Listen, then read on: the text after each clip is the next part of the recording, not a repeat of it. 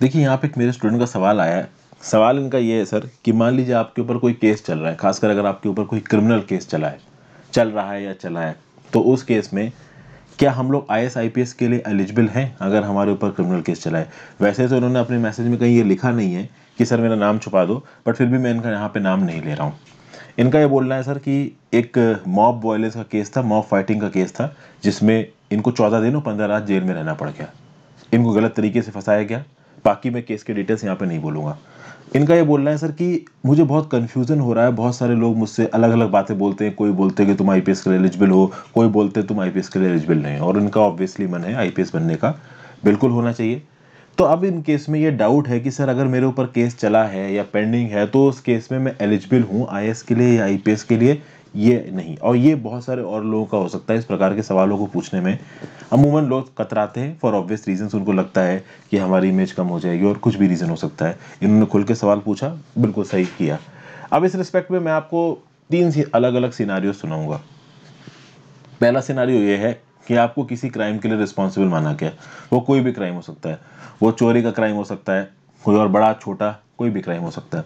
आप गिल्टी हो या नहीं हो, ये कब पता चलेगा? ये तब पता चलेगा जब कोर्ट में आपके ऊपर केस चलेगा और कोर्ट आपकी सजा सुना देगा। अब बात को समझिए। आपके ऊपर कोई इल्ज़ाम लगा और कोर्ट ने अभी तक आपको कन्विक्ट नहीं किया है, लेकिन आपका केस पेंडिंग है। कोर्ट के सामने जब केस किया, कोर्ट ने बोला कि बाइज्जत बरी। ठीक है, इनके ऊपर जो भी इल्ज़ाम लगाए गए हैं, वो गलत हैं। हम इनको बाइज्जत बरी कर रहे हैं, इनको छोड़ रहे हैं। तो अब ऐसे केस में क्या हुआ कि कोर्ट ने आपको बाइज्जत बरी कर दिया आपके ऊपर के सारे इल्ज़ाम लगा दिए? तो अब इस बात से फ़र्क नहीं पड़ता कि आपने एक महीने जेल में काटे हैं, दो महीने जेल में काटे हैं। दो महीने आपको गलत तरीके से जेल में रखा गया है। आपने कोई गलती नहीं की थी और ये गलती जज ने बता दी। तो अगर एक बार जज ने आपको ये बोल दिया कि भाई, आप बाइज्जत बरी हो, आपको हम छोड़ रहे हैं, आपने कोई गलती नहीं की तो आपके ऊपर कोई केस बना ही नहीं। सिंपल सी बात, आप छूट गए वहाँ पे। आप जेल में रहे, वो तो अथॉरिटी की गलती थी ना, उन्होंने गलत तरीके से आपको अरेस्ट करके जेल में डाला। इसके लिए आप कैसे रिस्पॉन्सिबल हो? कोर्ट ने आपको छोड़ दिया। तो पहले सिनारियो में अगर कोर्ट ने आपको छोड़ दिया है, बाइज्जत बरी कर दिया है तो ऐसे केसेस में आप हर एग्ज़ाम के लिए एलिजिबल हो, आपको कोई भी प्रॉब्लम नहीं है। एक चीज़। दूसरी चीज़ कि मान लीजिए कोर्ट ने आपको किसी पर्टिकुलर केस में रिस्पॉन्सिबल मांगना पूरी तरीके से रिस्पॉन्सिबल माना, पार्शियली रिस्पॉन्सिबल माना, और आपको कुछ सजा दी गई। वो सजा दस दिन जेल की हो सकती है, वो सजा छह महीने जेल की हो सकती है, वो सजा कुछ पैसों का जुर्माना हो सकता है। अभी यहाँ पे आपको कोर्ट ने कन्विक्ट किया और आपको कुछ सजा सुनाई है। अब अलग अलग केसेस में कुछ भी कन्विक्शन हो सकता है, मुझे नहीं पता क्या सीरियस है क्या कम सीरियस है। इस रिस्पेक्ट में मैं आपसे एक बात करूँगा कि इस कंडीशन में अगर आप यूपीएससी का एग्ज़ाम क्वालिफाई करते हो और आई एस बनते हो तो बहुत हद तक जो आपकी अपॉइंटिंग अथॉरिटी होगी ना यूपीएससी उसके असेसमेंट पे डिपेंड करेगा कि वो आपको अपॉइंट करते हैं कि नहीं करते हैं।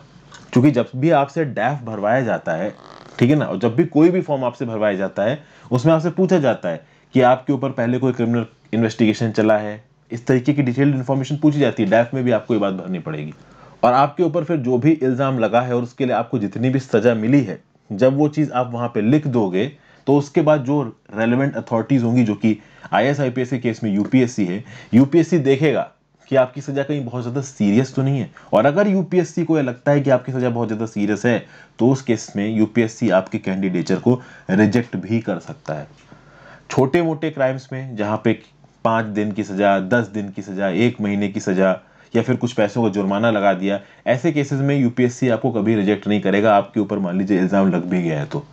बट अगर कोई सीरियस क्राइम है, जिसके लिए आपको सजा मिली है ठीक ठाक समय की तो ऐसे केसेस में हो सकता है कि यूपीएससी आपका कैंडिडेचर रिजेक्ट कर दे। वो यूपीएससी के असेसमेंट पर डिपेंड करेगा, इसके बारे में आपको कोई बता नहीं सकता अभी। और तीसरा सिनारियो जो सबसे इंपॉर्टेंट है, आपके ऊपर केस चल रहा है और आपके केस का डिसीज़न नहीं आया। कोर्ट तक आपका केस अभी पहुँचा नहीं और पहुँचा भी है तो डेट आगे बढ़ रही है। तो मतलब आप गिल्टी हो या नहीं हो, ये कोर्ट ने अब तक नहीं बताया। वो अलग बात है कि आप उस समय बेल पे चल रहे हो। बेल पे चल रहे हो। देखो, जेल में बंद हो तो पेपर क्या ही दोगे, बट अगर बेल पे चल रहे हो, मान लो तो ऐसे केसेस में आप बाहर हो, आप यूपीएससी के पेपर दे रहे हो, मान लो, और उस समय पे आपका यूपीएससी का एग्ज़ाम क्वालिफाई हो गया, आप सेलेक्ट हो गए। लेकिन आपको अपॉइंट किया जाएगा या नहीं किया जाएगा, ये इस बात पे डिपेंड होगा कि फाइनली आपके कन्विक्शन में क्या बोला जाता है। अगर कोर्ट आपको बाइज्जत बरी कर देता है तो उस केस में यूपीएससी आपको पॉइंट कर देगा। लेकिन अगर आप पेंडिंग फ़ेज़ में चल रहे हो, अगर आपके ऊपर इल्ज़ाम लगा है बट एग्ज़ाम का कन्विक्शन नहीं हुआ है, या फिर उसकी कोई सुनवाई नहीं हुई, या फिर कोर्ट ने फाइनल जजमेंट आपके ऊपर नहीं दिया है तो मतलब आप बीच अधर में लटके हो। अभी जब तक आप अधर में लटके हो, तब तक सर्विसेज़ में तो आप अपॉइंट नहीं किए जाओगे। UPSC I S I P S छोड़ो, ये जो नॉर्मल गवर्नमेंट जॉब की सर्विसेज़ होती है ना, यहाँ पे भी आप अपॉइंट नहीं किए जाओगे। आप सब सोचो, कोई भी गवर्नमेंट जॉब निकालोगे तो सबसे पहले आपका पुलिस वेरिफिकेशन होगा। ये पुलिस वेरिफिकेशन क्यों होता है? इसीलिए होता है कि ये देखा जाता है कि भाई इस पर्टिकुलर पर्सन के अगर कुछ क्रिमिनल केस तो नहीं चल रहा, इसने कुछ गलत तो नहीं किया है। तो जब आपके ऊपर कोई केस चल गया है और जब तक डिसीज़न नहीं आया, तब तक आप अधर में बैठे हो, तब तक एग्ज़ाम निकाल भी लोगे तो भी अनफॉर्चुनेटली आप कुछ नहीं कर सकते। आपका डिसीज़न आना ज़रूरी है। डिसीज़न में आप बाइज्जत बरी हो गए, नौकरी ज्वाइन करो, मस्त नौकरी करो। लेकिन अगर सजा दे दी गई है तो सजा कितनी बड़ी है क्या कितनी छोटी है, इसको एसेस करेगा यूपीएससी या जो भी दूसरी जॉब पे अपॉइंट करने वाली अथॉरिटी और फिर वो अपने हिसाब से अपना डिसीज़न लेंगे। आई होप आपको बातें एकदम क्लियर हो गई होंगी, किस प्रकार से चीज़ें होती है। मैंने बहुत जनरल टर्म्स में बताया है। कहीं ना कहीं होगा या नहीं होगा ये बता पाना सिर्फ़ यूपीएससी के हाथ में ही होगा। अगर आपके ऊपर कोई इल्ज़ाम लग गया तो अगर आप बाइज्जत बरी हो गए तो मतलब आप रिस्पॉन्सिबल हो ही नहीं, फिर किस बात का आपका अपॉइंटमेंट रोका जा सकता है? जब कोर्ट ने आपको छोड़ दिया, कोई आपको अपॉइंटमेंट नहीं रोक सकता। लेकिन केस पेंडिंग है तो जब तक केस का फाइनल एडजुडिकेशन नहीं होता, तब तक आप सेलेक्ट भी जो हो जाते हो तो भी आपके अपॉइंटमेंट को होल्ड पर रखा जाएगा।